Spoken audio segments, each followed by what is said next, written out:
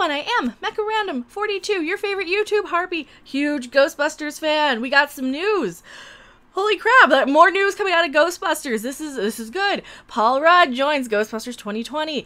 I think he's going to be a good fit. He's fun. He's a fun actor. This is why he was surprisingly good as Ant-Man. This is why he's surprisingly good in pretty much everything. Thank you for subscribing. I forgot to turn off my notifications.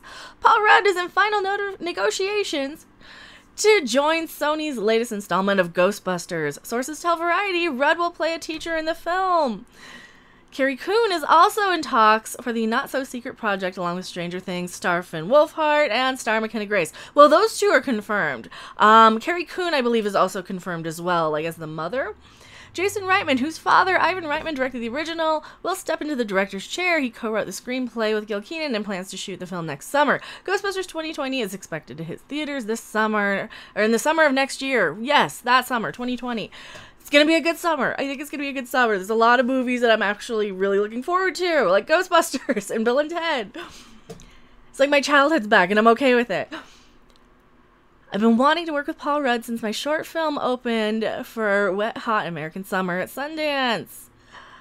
I'm thrilled he'll be joining this new chapter in the original Ghostbusters universe. See this this I love hearing anytime they drop in. No, this is the original Ghostbusters universe. This is the real one. Where where or at least the movie. This is the the cinematic one. Yeah, I know the real one is like you know, Larry Storch Forrest Tucker, the little kids show from the 70s. I know, I know, I know all the Ghostbusters lore this is amazing though. This this is good news. I'm I'm very excited about this. This is not going to be a super long video, just a little news brief here. Sony wouldn't comment on plot details, but insiders tell Variety the story will be will be an extension of the original Ghostbusters and focus on a single mom and her family, with Coon playing the mom and Wolfhard playing her son. It's unlikely it's unknown how exactly it connects to the original Ghostbusters series. Sigourney Weaver is also rumored to return as Dana Barrett. Well, it connects because it's a sequel instead of like a reboot or a reboot sequel that takes every opportunity to trash the original. Hey, remember Ghostbusters? Well, don't compare us to Ghostbusters. And I, I, I get it. Ghostbusters 2016 probably has a few fans out there. I am not one of them. Can't stand Ghostbusters 2016 so excited that we actually are finally getting a third movie. It's probably 10 years too late.